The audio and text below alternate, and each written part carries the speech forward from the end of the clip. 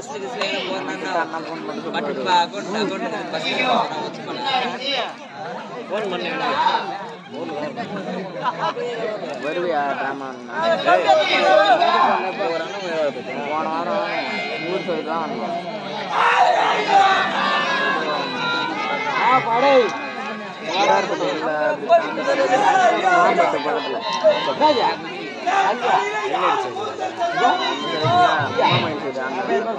யார் முகத்தில் வெடித்தேனோ போன வாரம் வியாழக்கிழமை நான் மாறுறேன். வாடா ஏய் ஏய்,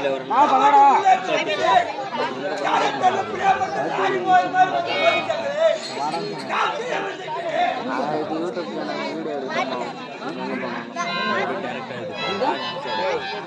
நாங்கள் கட் பண்ணி தான் கேமரா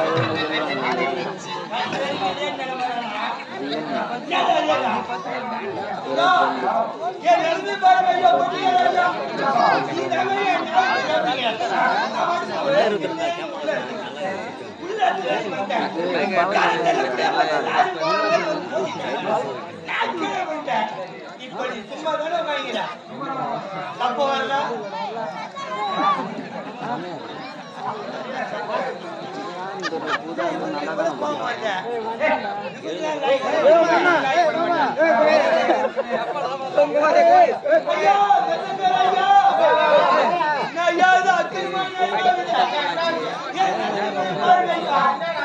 ஐயா நம்மடு உள்ள வந்து யார தெரியல சரி அப்ப என்ன பேசுவாங்க. எட்டு மணி இது உட்கார்ந்து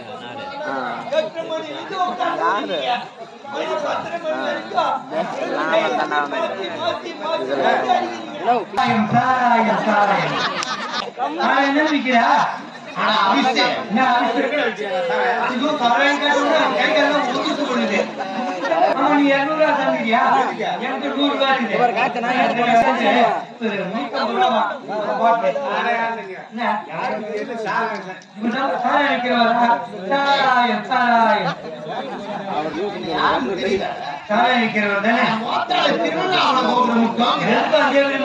ஒரு சின்ன மழையா விடுறது.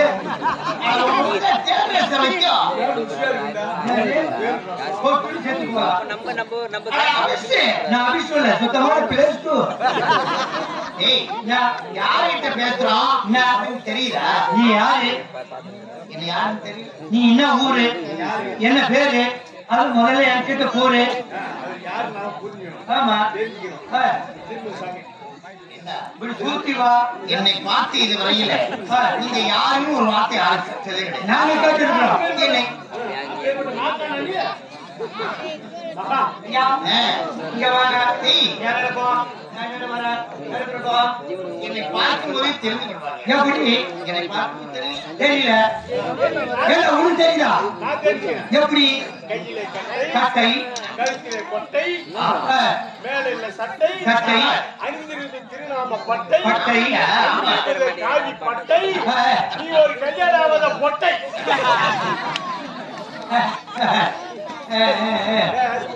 நீ போட்டவே கல்யாணம் ஆகி போச்சா? இது மீசு முருகு இருக்கு இருங்க. சரியா? கல்யாணம் ஆகலன்னா அப்படிதான் போட்டதா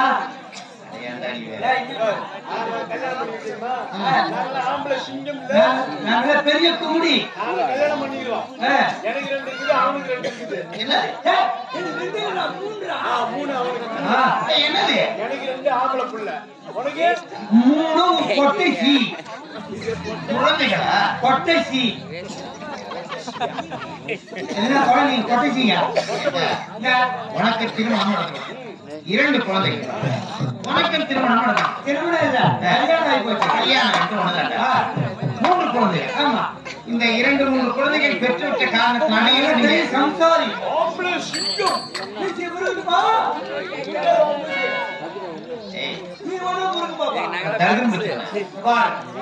வீட்டுக்கு நான் அதிர்ஷ்டகார புள்ள என்ன போய் முடிச்சவன் சொல்றா? இரண்டு மூன்று குழந்தைகள் பெற்றுவிட்டே இப்பொழுது வீரப்பா இருக்கேன் எனக்கு எத்தனை குழந்தை எத்தனை அறுபது குழந்தைகள் பிறந்திருக்கிறார் அறுபது குழந்தையா? அறுபது குழந்தை எப்படி பார்த்த? இந்த வச்சு பொரிச்சிட்டியா? இல்ல ஒயிட்டா கோழியா? இல்ல அவங்க அம்மா நெய்யாண்டி பறிப்பா என்ன? கலையும் கிடைக்குமான்னு சரி பூலயத்துல அப்படி சென்று கொண்டிருக்கிற பொழுது அங்கே ஒரு அழகான தடாகம் ஒரு குளம் தாமரை மலர்கள் பூத்திருக்கிறது சரி காற்று வீசுகிறது மணல் குவிய குவியலாக ஒரு அவா ஒரு ஆசை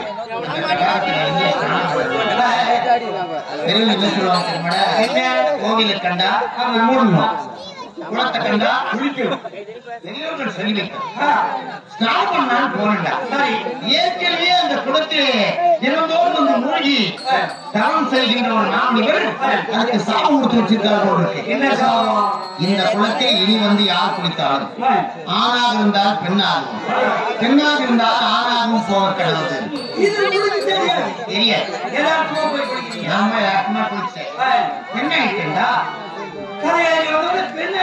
குளிச்ச உடனே பெண்ணாயிட்டேன் காணதா அங்க யாருமே கிடையாது. இல்ல பெண்ணுன்னா சின்ன குழந்தை இல்ல. பருவமுள்ள பெண்ணா நிக்கிறேன். ஆமா. ஒரே யாரையாவது கட்டி அணைத்து காதல் முத்தம் தர வேண்டும் என்று ஒரு அவா தூண்டுகிறது. ஒரு ஆசை வருகிறது. நான் யாரை போய் கட்டி யாரும் இல்லையே. அங்க இருப்பதெல்லாம் மரம் செடி கொடி. என்ன இது? நம்ம நிலைமை இப்படி ஆகி போச்சே அப்படி நேர வைகுண்டம் போனேன். எங்க தாத்தா கிட்ட போய் சொன்னேன். தாத்தா நான் நாரத மகரிஷி உங்க பேரன் தாத்தா. இந்த நிலைமை இப்படி ஆயிடுச்சுன்னு அவர் தெரிஞ்சு போச்சு?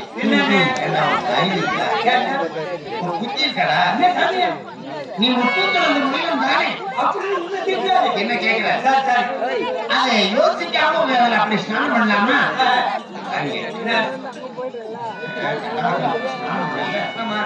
பக்கத்திலே போனா தாமசி என்ற ஒரு தீவு இருக்கிறது அந்த தீவில ஒரு அரக்கன் இருக்கிறான். அந்த அரக்கன் பெண் துணை இல்லாமல் நீண்ட காலமாக அலைந்து திரிந்து நீ சென்ற இங்கே அவனிடத்தில் நின்றார் உன்னை பார்த்த உடனே ஓடி வந்து உன்னை கட்டி அணைப்பான். அவனை அணைத்து அவனிடத்தில் ஒரு குழந்தையை ஈந்தெடுத்தால் நீ பழைய வழியே அடைவாய்ன்னு சொன்னார். நான் நிற்க முடியுமா? உடனே அங்கிருந்து ஓடி ஓடி வந்து ஓடி வந்து அவன் முன்னாடி நின்னுட்டான் அவன் பெரிய பாறையில உட்கார்ந்துட்டான் கருத்த நிலம் பழுத்த உருவம் பயங்கரமான தோற்றம். என்ன பண்றது என் வடிவம் மாற வேண்டுமே. அதானே அதனால நின்றுட்டு இருக்கேன் அங்கிருந்து பார்த்து ஓடி வந்து ஓடி வந்து என்ன கட்டி அழைச்சாங்க சும்மா தாத்தா சொன்னது ஒரு குழந்தை பிறந்தாலே போதும்னாரு. அறுபது குழந்தைகள் பிறந்தது. அறுபது குழந்தையா? ஐயா அவங்க பெத்தண்டியா அப்போ உங்க ஏசி ஈசு வரல ஐயா, அந்த அறுபது பிள்ளைகள் யார் தெரியுமா?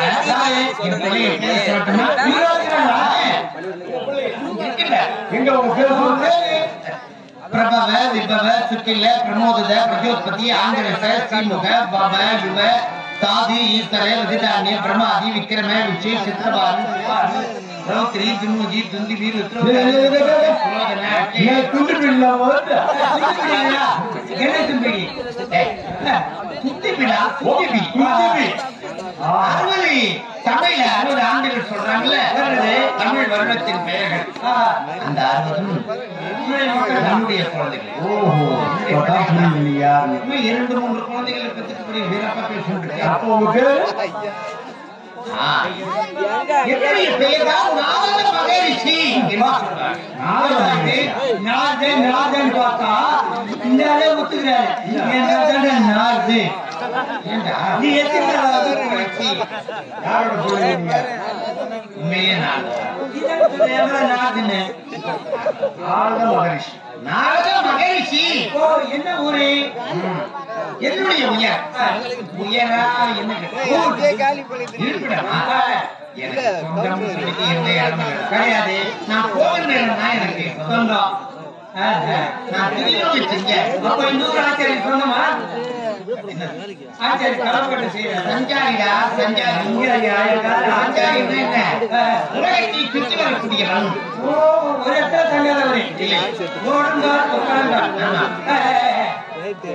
அப்பா நீ ஞாபகம் கவனிவரா பாருங்க தெரியுமா எங்க போறீங்க அத்தையை உதவி ஆண்டு வரக்கூடிய கண்டன் காப்பீடுகளை சந்திக்க வேண்டும் என்பதற்காக சென்று அங்கதான் வரீங்களா ஏன்? வாங்க வாங்க